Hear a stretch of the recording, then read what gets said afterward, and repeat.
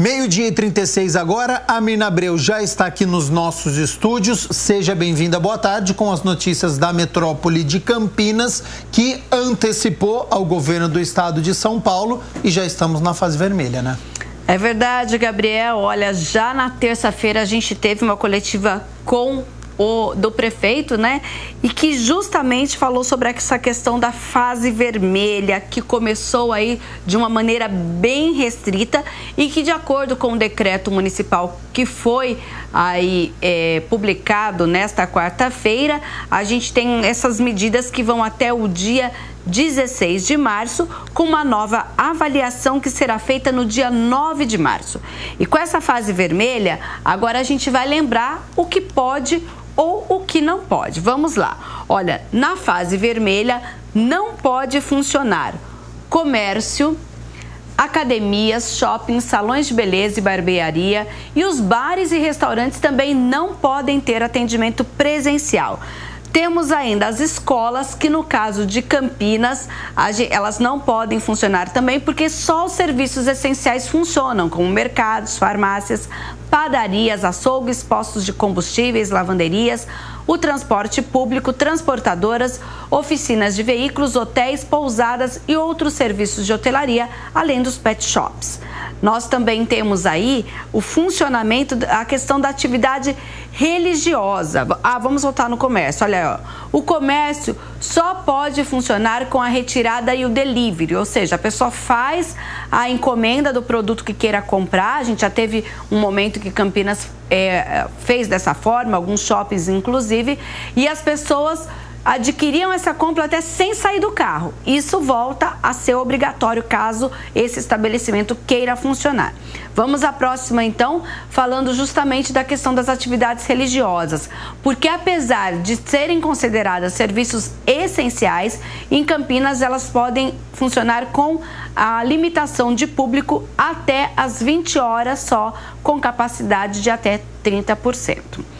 Temos aí então também os serviços municipais. Eles estão funcionando com restrição de circulação, por exemplo, aqui no Passo Municipal, capacidade limitada de 30% e servidores voltarão a fazer o teletrabalho no período em que só pode ser 30% em cada repartição pública. Temos ainda também os parques públicos voltam a ficar fechados nesta fase vermelha e toda atividade com aglomeração proibida na nossa cidade. Portanto, até o dia 16 de março, esta fase vermelha com uma reavaliação no dia 9 de março. E claro que tudo isso traz um impacto, né, Mirna? Traz sim. E ontem a nossa reportagem foi conferir qual é o impacto deste primeiro dia da fase vermelha aqui em Campinas. Acompanhe. Se desde o início da pandemia essa academia já teve um corte de 75% no número de alunos matriculados, agora não tem nenhum.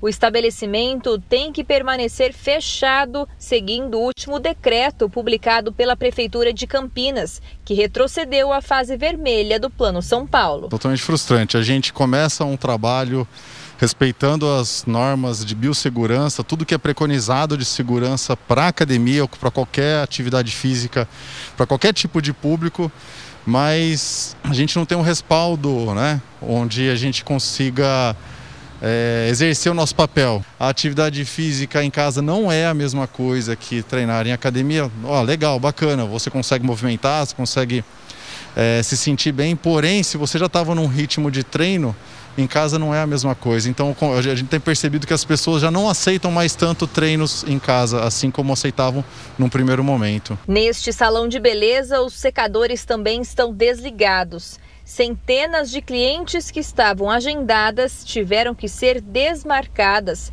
causando um prejuízo de 50% no faturamento mensal do local. Salão com 50% a menos, tendo todas as despesas do mês. Porque o imposto vai chegar, o aluguel vem, uh, produtos que nós já havíamos comprado, isso que é complicado. Nós estamos pagando produtos que nós havíamos comprado, que vai ficar aqui parado, mas nós temos que pagar. Então é como se a gente tivesse todas as despesas com 15 dias de trabalho. É praticamente impossível. A nova medida foi anunciada em uma coletiva de imprensa do prefeito de Campinas, Dário Sade, na última terça-feira, dia em que o município atingiu 90% da taxa de ocupação dos leitos de UTI e chegou bem perto das 1.900 mortes por coronavírus. Em seu discurso, o prefeito tratou a situação na cidade como um quase colapso e instituiu inicialmente 15 dias de fase vermelha com restrições no funcionamento da cidade. Com isso, Campinas agora está sim fechada. No centro, portas abaixadas das lojas. Nos demais bairros, há avisos sobre o lockdown, como nesta academia. Escolas também estão fechadas para aulas presenciais. O que pode funcionar nesta fase vermelha, segundo o decreto, são apenas os serviços considerados essenciais, como hospitais, estabelecimentos de saúde animal, supermercados e hipermercados, açougues e padarias, hotéis e serviços bancários, entre outros. Serviços de delivery são a única opção autorizada aos bares e restaurantes e foi a saída encontrada por essa rede alimentícia, que desde o início da pandemia já precisou demitir praticamente metade dos funcionários nas mais de 20 unidades em Campinas. Para a cozinha poder funcionar, só se for por entrega ou retirada. Delivery, antes de começar a pandemia, representava 30% do nosso faturamento. Hoje o delivery representa cerca de 50% do nosso faturamento. Então, com diminuição de estrutura, com diminuição de aluguel, a gente consegue ficar de pé. Essa é uma realidade. Então, o delivery consegue pagar a conta nesse sentido. Mas se o dono do imóvel não nos ajudar com relação ao valor do aluguel, se a gente não diminuir a nossa equipe, a gente fica com prejuízo. Na visão dos comerciantes, é necessário um equilíbrio e colaboração de toda a sociedade na luta contra o vírus para que saúde e economia caminhem juntas. Eu acho que se tivesse uma possibilidade de chegar num ponto em comum onde, com, mesmo com restrição de fluxo de, de, de pessoas, mas com um funcionamento é, obedecendo às normas de biossegurança, a academia não, não, não tem nada a, a a ir contra esse processo. Não é um meio de contaminação, muito pelo contrário, a gente, a, a gente trabalha em prol da saúde das pessoas. Acredito que se desde o início tivesse já baixado a capacidade desde o início de horário de atendimento, a questão é, de fiscais na rua para poder colocar. É, fiscalizar se as pessoas estão seguindo as normas direitinho. E eu acho que se desde o início tivesse sido feito isso, é, não precisaria fechar totalmente tudo que nós queremos é que as pessoas elas entendam que elas podem ficar em casa, elas podem frequentar sim um ambiente como o nosso, que é responsável, que tem o seu distanciamento, que tem todas as suas normas da vigilância sanitária, mas infelizmente a gente sabe que alguns não cumprem e acaba a gente pagando por todos esses aí. Então, se as pessoas não aglomerarem, se as pessoas não saírem de casa e se vacinarem o mais rápido possível, é o que a gente está esperando para que, se Deus quiser, a gente consiga voltar ao normal. É muito difícil. E essa restrição em cidades aqui da nossa região também foi decretada em Paulínia, que entra na fase vermelha a partir de hoje. A medida foi adotada por conta do crescente número de casos de Covid e pela também elevada ocupação nos leitos de UTI. Valinhos é outra cidade da RMC que decidiu por medidas mais restritivas. Neste caso, começa amanhã com uma restrição inclusive de circulação com medidas sanitárias das 8 da noite às 5 da manhã e Hortolândia já tinha definido essa medida mais restritiva com proibição de circulação das 9 da noite às 5 da manhã.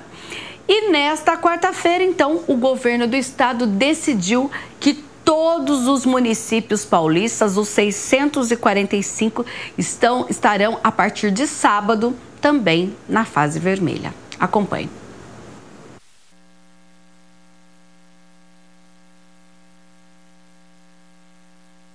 Quero dizer que na classificação do Plano São Paulo, devido ao aumento do número de casos, internações e mortes por coronavírus, todo o estado de São Paulo será classificado na fase vermelha do Plano São Paulo a partir do próximo sábado, 6 de março, até o dia 19 de março, sexta-feira. São 14 dias de fase vermelha.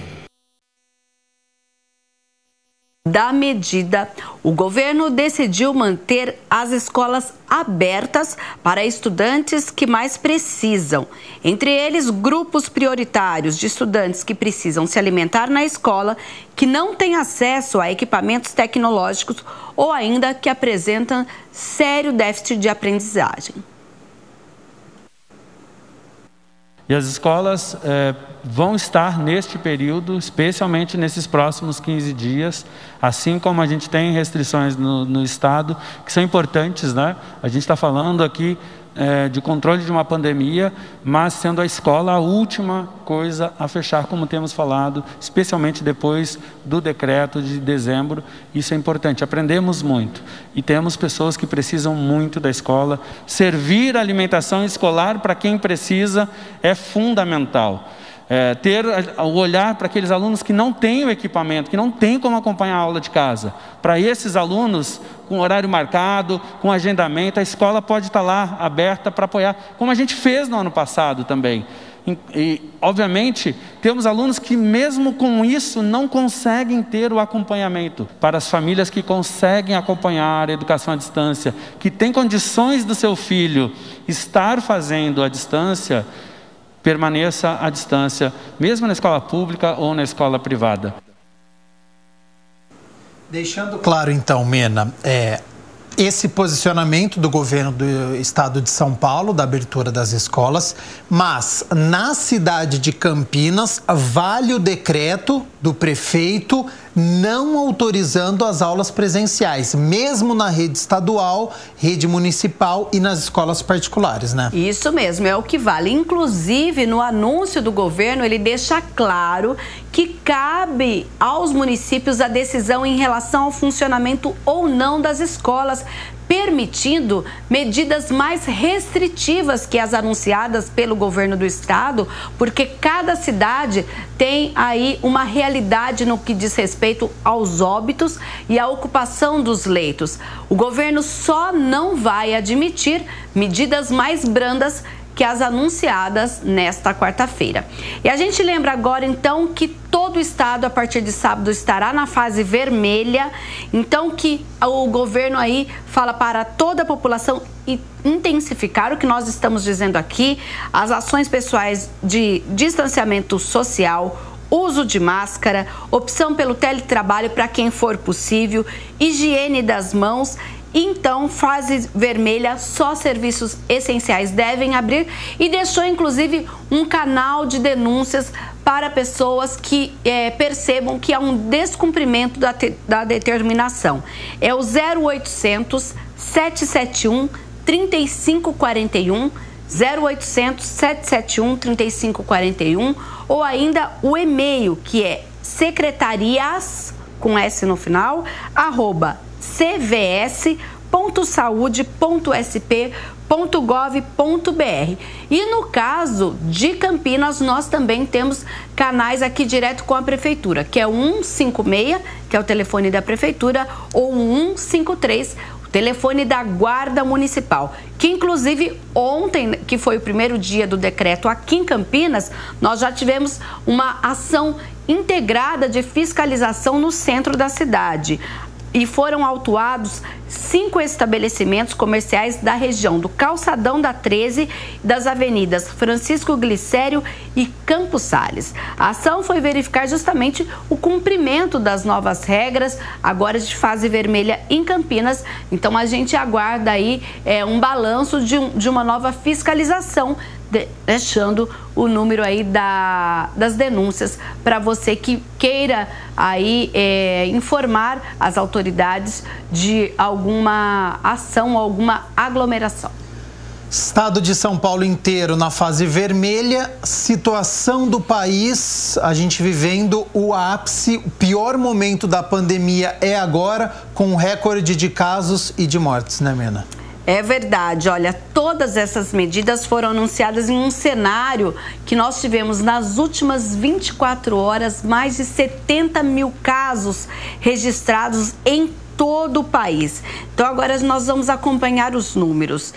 No Brasil nós temos 10 milhões 718.630 casos da Covid-19, num total de 71.704 novos casos nas últimas 24 horas. São 259.271 mortes devido à Covid-19. Ficam aqui as condolências da TV Câmara Campinas. No estado de São Paulo, 10 milhões 718 mil 630 casos. Nós te, desculpa, 2 milhões e 68 mil 616 casos. São no estado de São Paulo 60 mil 381 óbitos. E agora a gente vai falar da região metropolitana de Campinas, números crescentes também, Gabriel. Olha, aqui na RMC nós temos 173.596 casos confirmados. Campinas segue liderando, infelizmente, esse ranking e a gente já passa de 70 mil casos. Olha, são 70.759 e depois aparecem Dayatuba, Sumaré, Americana, Santa Bárbara do Oeste, únicas cidades que tem menos de 10 mil casos, Hortolândia, Paulínia, Valinhos, Itatiba, Vinhedo. Na sequência aparecem Cosmópolis, Jaguariúna, Nova Odessa, Montemor, Arthur, Nogueira, Pedreira, Santo Antônio de Posse, Engenheiro Coelho, cidades com menos de mil casos, Olambra e Morungaba. 473 casos confirmados na cidade de Campinas em 24 horas, o que mostra que a doença continua circulando na nossa cidade com muita rapidez. É, a cidade soma 1.905 óbitos, 21 confirmados a mais na nas últimas 24 horas, num universo de 4.377 mortos aqui na região metropolitana de Campinas. A cidade lidera esse ranking agora com 1.905 óbitos. E aí, a última cidade que a gente tem números aqui continua no ranking, além de Morungaba e Olambra, que tem 11 e 8 óbitos, né?